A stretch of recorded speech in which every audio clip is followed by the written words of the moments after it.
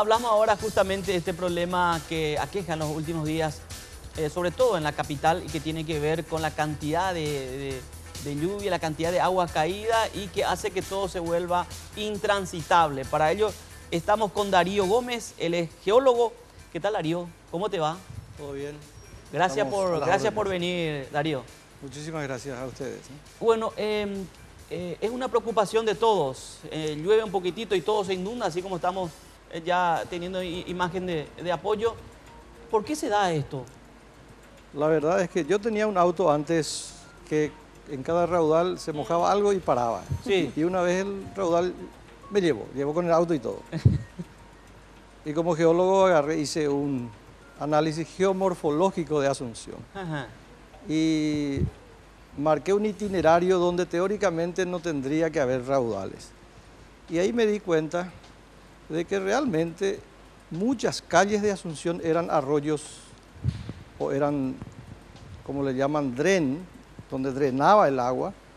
Y bueno, hoy están convertidas en calles, en avenidas. Entonces, toda esa agua que infiltraba antes o escurría por los arroyos, lo hacen por las calles. es un problema eh, el problema de la infiltración es grande. teníamos, teníamos cauces, ¿a eso te referís? Muchas de las calles hoy eran cauces antes. ¿Y no se eh. tomaron los controles necesarios? ¿No se hizo un estudio para saber qué, tan factible podía ser ahí construir una calle? Entendió que la ciudad fue desarrollándose en función de un crecimiento un poco desorganizado, digamos así. Solamente habían las las avenidas principales. Por ejemplo, un, divisor de agua, geomorfológicamente hablando, es la avenida Eusebio Ayala, que nace ahí en General Aquino y ese es un divisor de agua. ¿Qué quiere decir eso? Que por un lado los arroyos o los drenes van al norte y por otro lado van al sur, todos al río Paraguay. Entonces ese es un, una altura, digamos, en el que se, se trazó el camino y muchos caminos en el país siguen esa altura o divisor de agua, pero en Asunción no hubo alternativa más que incluso utilizar algunas, algunos arroyos, entre comillas, eh, como caminos. El caso del el caso de la Avenida España, por ejemplo. Yo entraba en la Escuela República de Chile, cuando apenas regresé, vine del Chaco. Cuando niño íbamos a la Escuela República de Chile y era un, río, un río. Y en el análisis que yo había hecho, exactamente coincide con un recolector natural de agua. ¿Y que está por debajo sería ¿O cómo, cómo está actualmente eso? Y el agua corre encima de la avenida. Antes corría por un canal que era un desagüe natural.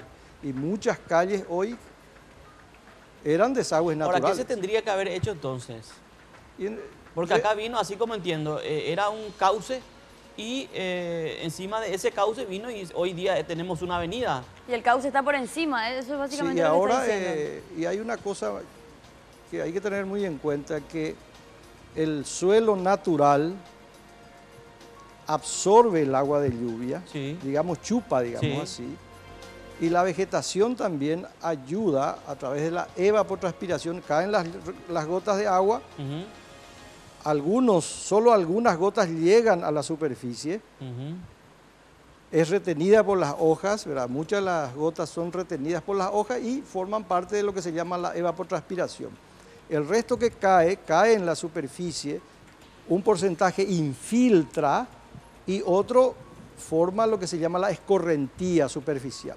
No tenemos cobertura vegetal casi, el agua cae directamente sobre una cobertura ya sea de asfalto o de hormigón, no infiltra y solamente ya queda la escorrentía. Es decir, que corre el agua porque no se evapora o no forma parte de la evapotranspiración y tampoco se infiltra. Entonces, el problema es que hay que acomodar esa, claro. esa escorrentía en algunos canales subterráneos. Claro, que es un poco lo que tendría que haber hecho el Ministerio de Obras Públicas, bueno, pero es responsabilidad de, eh, compartida, digo, por, por, un lado está la gente de la Municipalidad de Obras Públicas en el tema de desagüe pluvial, gente de la Municipalidad de Asunción también, nosotros estamos tratando de echarle un poco más de luz a todo esto, geológicamente hablando. Sí, la, verdad es que tiene que planificarse, tiene que haber un plan de, de manejo de esta escorrentía, ¿verdad?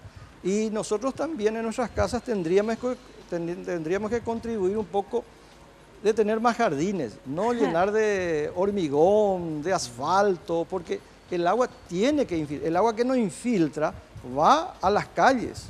Hablando de la responsabilidad de la ciudadanía, Darío, ¿qué, ¿qué, implicancia o qué incidencia tiene la cantidad de basura que se tira habitualmente a los desagües con el tema de la inundación de las calles, ¿es importante o básicamente no, no influye demasiado? como quiere dejar entender la Municipalidad de Asunción echándole toda la culpa a la gente de repente? Bueno, la, verdad, desde el punto de vista ambiental, es muy grave, ¿verdad? Porque todos estamos tirando al, al cauce. Ese cauce hoy es natural en el sentido de que naturalmente se acomoda a la geomorfología y se dirige al río Paraguay en el caso de Asunción.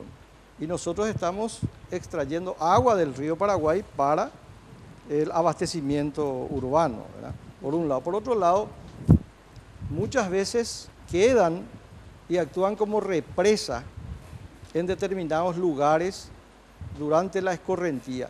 Entonces aumenta la inundación eh, periférica, digamos, a esos canales. No debería hacerse.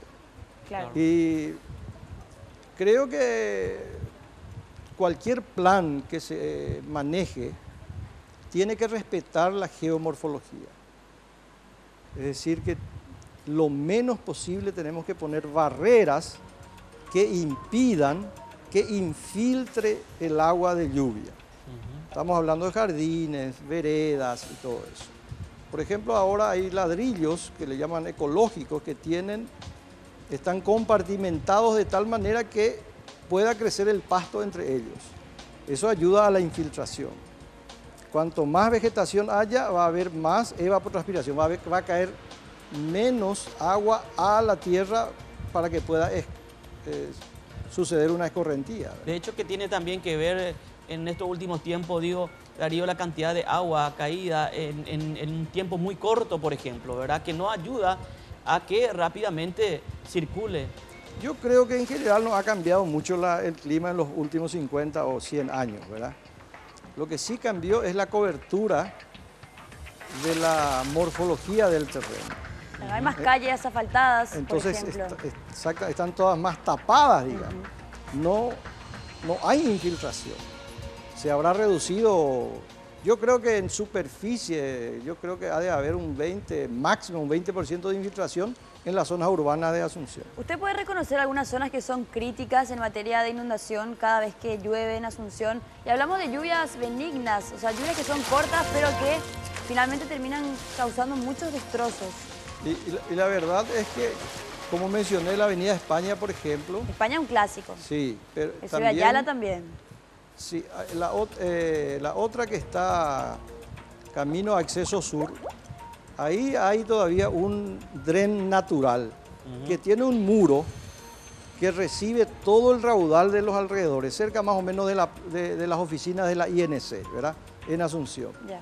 Y eso va a un arroyo, van al arroyo Ferreira, van al arroyo Emburicao, etcétera, etcétera. Y un poco más allá está cerca de la Sena también, Darío en donde, en donde prácticamente se desemboca eh, en, un, en un arroyo, como usted está mencionando, pero de todos los sectores, viene a caer allí. El arroyo Muricao nace aproximadamente entre Sacramento y Eusebio Ayala. Es, la zona de la naciente del Muricao, por ejemplo, ¿verdad?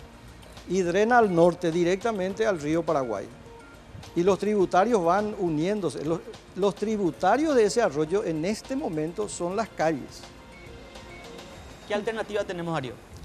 Planificar. Planificar utilizando el comportamiento geomorfológico de, de Asunción.